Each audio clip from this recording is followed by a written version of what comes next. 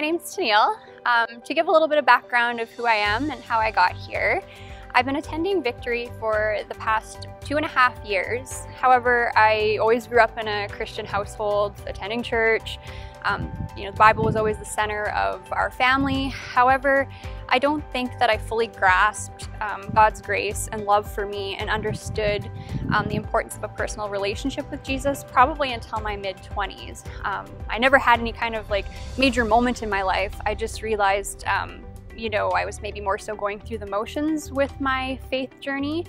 Um, I started spending more time with the Lord and developing a personal relationship with Him, um, reading the Bible and through prayer, and you know, really adjusting like my lifestyle choices. And with the encouragement of my family and my friends, and like reading through the Scripture and the importance of how faith is um, being obedient to Christ. And I realized, you know, I, I wasn't baptized yet, and that was something that Christ really wanted me to do. And in order to be obedient to Him, I made the decision to get baptized when I saw that there was an opportunity to do so.